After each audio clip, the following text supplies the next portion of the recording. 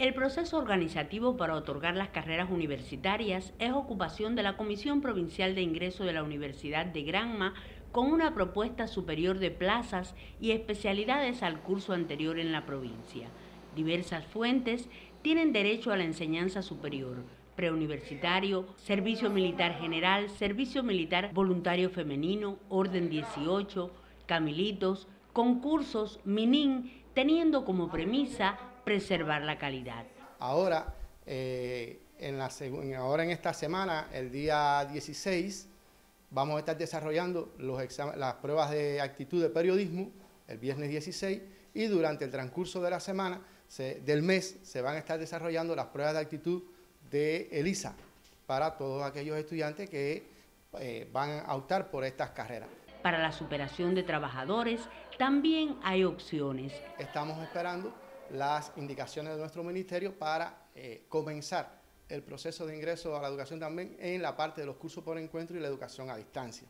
En este caso, en el curso por encuentro, vamos a, a retomar también el mismo procedimiento que hicimos el año pasado, que ya primero se otorgan las carreras a los organismos que la demandaron, próximamente las carreras que queden libres se otorgarán al curso por encuentro eh, libre para todas las personas que quieran asumir eh, una carrera universitaria en cualquiera de las variantes que nosotros lo hacemos y en cualquiera de las carreras que tengamos en la universidad.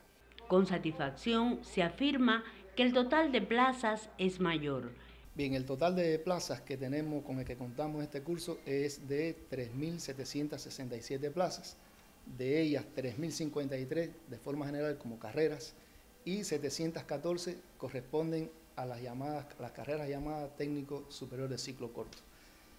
El plan es superior al curso pasado, fundamentalmente en las carreras de las ciencias médicas, las más codiciadas por la población, de forma general, Granma cuenta este curso con 1.288 plazas de las ciencias médicas. Después le siguen las carreras de, corte pedagógica con 1.005 plazas.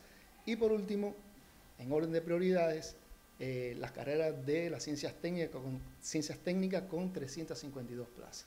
Garantías en diferentes modalidades de ingreso como concursos son un hecho. Los esperados exámenes de ingreso ya tienen su calendario. Hay un grupo de estudiantes que están ya eh, con su carrera preotorgada, en el caso de las carreras del colegio universitario, muy importante, son 300 y tantas carreras que tienen ya los estudiantes casi en sus manos. Y dentro de esas carreras hay carreras también de corte agropecuario. Los estudiantes ganadores de concursos de conocimiento también tienen la posibilidad de acceder los exámenes de ingreso, el examen de matemática el 15 de noviembre, el de español el 18 de noviembre y el examen de historia de Cuba el 22 de noviembre. Destacar que cada estudiante tiene eh, para el examen de ingreso, aprobando o no los exámenes, tiene garantizada una plaza. El acceso a la universidad es una ocasión que asegura el futuro personal y de una nación. Teresa Armesto, Sistema Informativo de la Televisión Cubana.